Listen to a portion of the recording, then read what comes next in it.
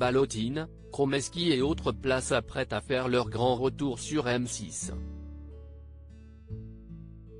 Le mercredi 16 février, Stéphane Rothenberg donnera le coup d'envoi à la 13e saison de Top Chef. Grande nouveauté de cette édition, le départ de Michel Saran. Désormais, Philippe Etchebest, Hélène Darroze et Paul Perret concourront face à Glenn Viel, visage pas totalement inconnu des fidèles téléspectateurs puisqu'il a déjà participé à plusieurs reprises en tant que chef invité. Les 15 candidats à tenter leur chance auront donc bel et bien 4 possibilités de brigade à intégrer, s'ils réussissent à convaincre le jury. Si Philippe Etchebest a déjà un candidat dans son équipe, les autres doivent encore faire leurs preuves.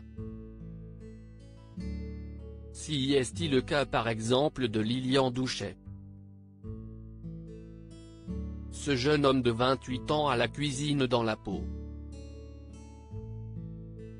Dès l'âge de 5 ans, il était davantage fasciné par cuisine télévision que par les dessins animés.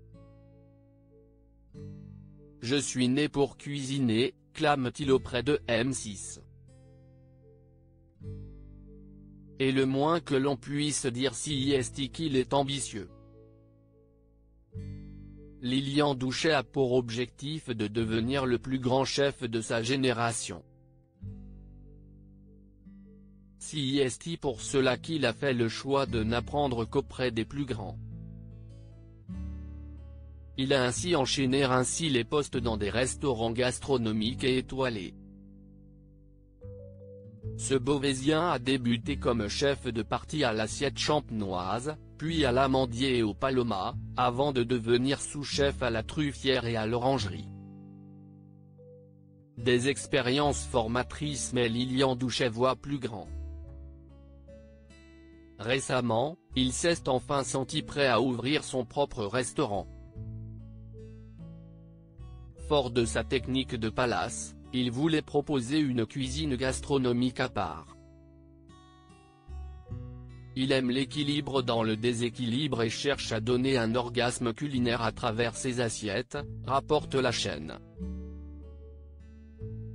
L'imprévu qui a empêché Lilian Douchet d'ouvrir son restaurant sauf que le Covid en a décidé autrement. Terrible timing pour le cuisinier. Tout était finalisé mais la pandémie a réduit ses rêves à néant. Je devais signer le lendemain du confinement et mon avocat m'a dissuadé de me lancer. Déplore-t-il auprès de la chaîne? Sauf que Lilian Douchet n'a pas remis les pieds dans une cuisine depuis, ne souhaitant pas retravailler pour quelqu'un. S'étant reconverti en directeur d'hypermarché, le jeune homme n'a en effet pas été derrière les fourneaux depuis deux ans. Sa participation à Top Chef marque donc une renaissance, un nouveau départ. Mais il sait qu'il part avec un handicap, cette longue absence des cuisines. Son perfectionnisme peut le pousser à commettre des erreurs, tant la pression qu'il se met sur les épaules est grande. Top Chef ça peut changer ma vie, je ne peux pas me louper, estime le principal intéressé. Mais lui qui ne voulait pas retravailler pour quelqu'un va-t-il être suffisamment docile pour accepter et appliquer les conseils et critiques de son chef de brigade? Réponse dans quelques semaines. Loading widget.